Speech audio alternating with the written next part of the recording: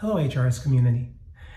I am so excited today to announce the 2020 Young Investigator Award winners. Our society was founded in 1979. Our founding members recognized the importance of having an annual meeting where best practices could be shared and knowledge and new ideas could be exchanged.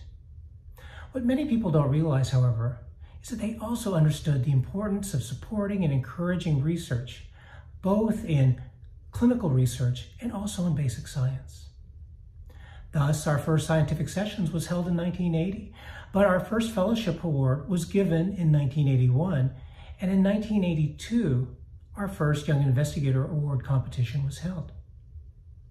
Today, we continue that proud tradition of supporting and encouraging research in the field of heart rhythm disorders, for recognizing our next generation of investigators whose innovative spirit will bring the care of our patients with heart rhythm disorders to that next level. These young investigators are truly our future.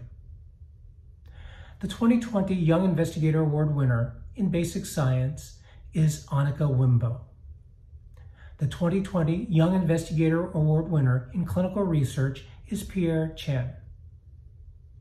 I would also like to recognize four individuals who received honorable mention from our judges. They are Albert Rogers, Jonathan Wong, Lindy Hino, and Stacy Howe.